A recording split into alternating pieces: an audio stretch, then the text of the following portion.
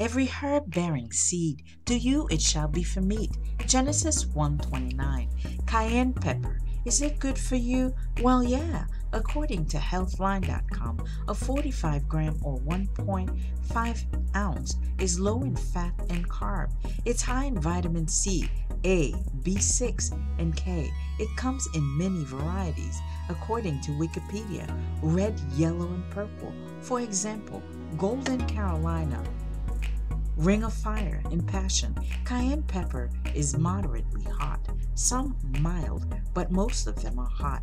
There are at least six good reasons to use this herb.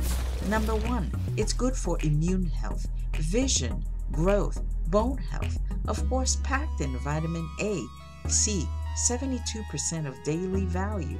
It has vitamins like B6, vitamin K, potassium, magnesium, essential for heart health.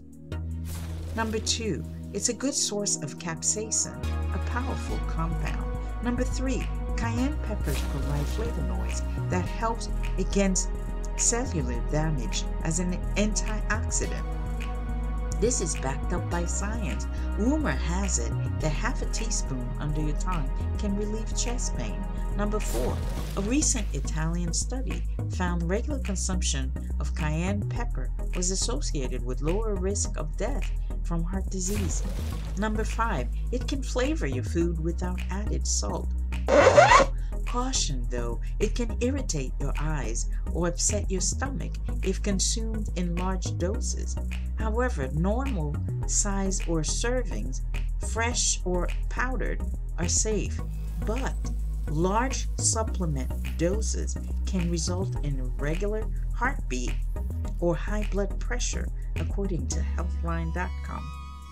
Number six, did you know pain creams like capsaicin or patches like Salonpas contains capsaicin?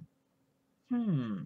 As always, check with your physician before making any changes to your diet or use any health products for your personal safety and well being.